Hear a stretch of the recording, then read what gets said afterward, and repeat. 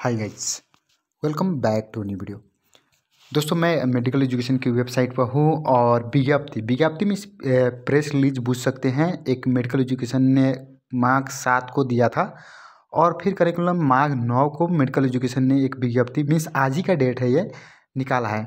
और इस किस के रिलेटेड है ये जो मार्क सात का है ना, उसी के रिलेटेड ये मार्क नौ का नोटिस है। तो मैं एक बार इस पर मोर स्टडी पर क्लिक करता हूँ। और आप यहाँ पर देख सकते हैं दोस्तों पोस्ट ग्रेजुएट मीन्स स्नकोत्तर तो मीन्स नेपाली पढ़ने में थोड़ा आपको, मुझे तकलीफ़ हो रहा है तो शायद आपको भी हो सकता है।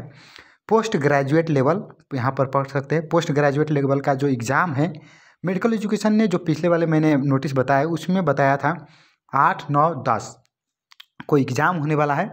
और मेडिकल एजुकेशन ने, उसमें दावा किया था कि बहुत सारे जो सोशल मीडिया प्लेटफॉर्म हैं, वहाँ पर क्वेश्चन आउट होने की मीन्स संभावना हो रहा है। मीन्स तो उसमें क्या कहा था म्यूनिसिपल कमीशन ने? वो अपने तरफ़ से अनुसंधान मीन्स इन्वेस्टिगेशन शुरू कर दिए थे प्राइमरी लेवल पर और जब एग्ज़ाम हुआ आठ को और नौ को तो इसी तरह से बहुत सारे जो काठमांडू के जो सेंटर है काठमांडू वैली के अंदर और देश के मीन्स कंट्री के अदर चार डिफरेंट सेंटर में कुछ मीन्स ऑन मीन्स क्या बोले? अनमर्यादित मीन्स कहने मतलब कि अनयूजल एक्टिविटीज़ होते हुए पाया गया। और जो भी वहाँ पर सामाजिक संजाल में मीन्स और जो ऑनलाइन न्यूज़ वगैरह है, वहाँ पर कहने मतलब कि जो परीक्षा का जो क्वेश्चन पेपर है, वो लीक हुआ था। कहकर इस तरह की मुझे थोड़ा यहाँ पर समझाने में दिक, तकलीफ़ ही आ रही है तो उसके लिए आप, मैं माफ़ी चाहता हूँ। तो वो जो भी चीज़ें आउट हुआ था, उसके बारे में बहुत सारा पोस्ट हो रहा था तो उसी सिलसिला में मेडिकल एजुकेशन ने यहाँ पर चार ठो में तीन टोटल आप कहने का मतलब कि जो तीन लोग को गिरफ़्तार किया गया है मीन्स अनुसंधान के लिए रखा गया है यहाँ पर, केंद्रीय तीन तीन, यहाँ पर तीन जाना लाइव मीन्स तीन आदमी को। और केंद्रीय अनुसंधान ब्यूरो, जो नेपाल में है।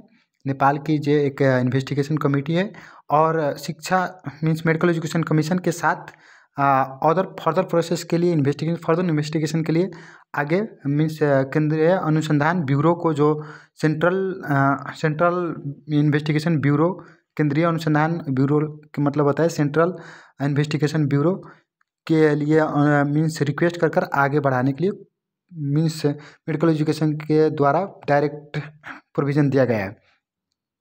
अब जैसे कि यहाँ पर फिर कल दो हज़ार अठहत्तर दस को परीक्षा होने वाला है और ये परीक्षा अपने जो भी प्रीवियस शेड्यूल टाइम है वो शेड्यूल टाइम पर होगा इसमें कोई भी चेंजेस नहीं है तो आप इस तरह से कुछ भी टेंशन लेने की नहीं है। और परीक्षा जो एग्ज़ाम है, यहाँ पर आप पढ़ सकते हैं। एग्ज़ाम है जो करने मतलब कि बहुत सेंसिटिव चीज़ है मेडिकल एजुकेशन का कहना है।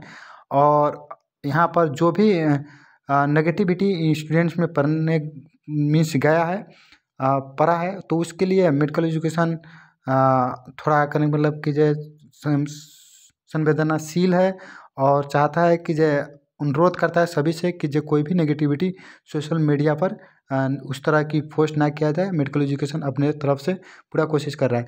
दोस्तों, इसमें मैंने बहुत सारा मीन्स डिफ़िकल्टियाँ फील किया हूँ आप सभी को समझाने के लिए, उसके लिए मैं सॉरी लेकिन जो मोटा मोटी बात थी मैंने यहाँ पर बता दिया और एक बार और शॉर्ट टर्म में समरी के रूप में बता रहा हूँ।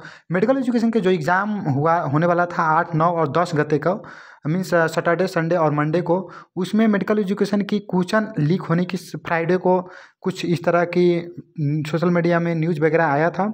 उसमें मेडिकल एजुकेशन ने बताया था कि हम लोग इन्वेस्टिगेशन शुरू किए हैं और जब आठ, नौ, दस को एग्ज़ाम हुआ मेडिकल एजुकेशन का तो उसमें मेडिकल एजुकेशन ने पाया कि चार मीन्स काठमांडू उपत्यका के अंदर और कंट्री के डिफरेंट चार सेंटर पर तीन लोगों को गिरफ़्तार किया गया, जिसका कारण अनयूजल एक्टिविटीज़ देखा गया और केंद्रीय मीन से सेंट्रल इन्वेस्टिगेशन ब्यूरो है। उसके साथ मेडिकल एजुकेशन ने मिलकर और सेंट्रल इन्वेस्टिगेशन ब्यूरो को काम सौंपा गया है कि मेडिकल एजुकेशन की इन्वेस्टिगेशन करने के लिए।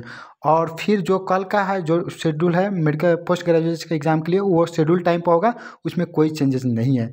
और इसके लिए thank you so much medical education ने बहुत क्लियर अपना नोटिस वगैरह रख रहा है, बहुत ट्रांसपेरेंसी लाने की कोशिश कर रहा है। आने वाले दिन में और मेडिकल एजुकेशन ट्रांसपेरेंट होगा। और okay guys this much for today अगर कोई क्यूरी है, आप यहाँ पर पढ़ सकते हैं तो प्लीज़ पढ़कर समझ लीजिए। मैं इसे ट्रांसलेट करने में बहुत सारा गलतियाँ कर दिया हूँ। Okay guys take care bye bye have a good day good night